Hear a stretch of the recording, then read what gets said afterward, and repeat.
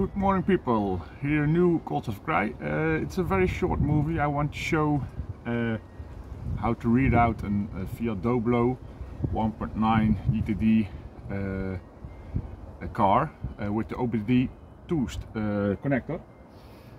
And uh, you must know where the connector is. So I want to show you where it is.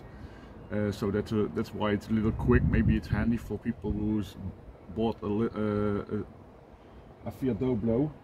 Uh, I think it's I'm not for sure, but I think it's the OBD2 uh, uh, connector is from 2005 on this location. It should be this one.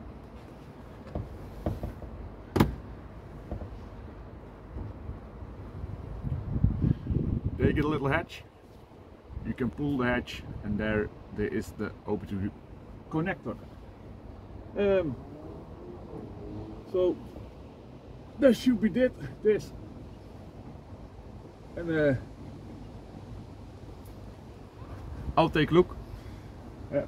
Then you can plug in your scanner tool. If you got it, there's a multi-purpose scanner tool. You can plug in and you can read out if you got some uh, fault codes.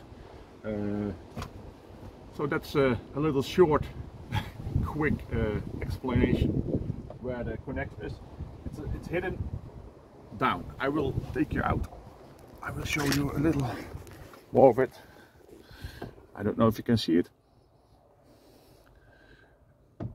There it's in between the black one. Okay, thank you very much guys. I'll see you later.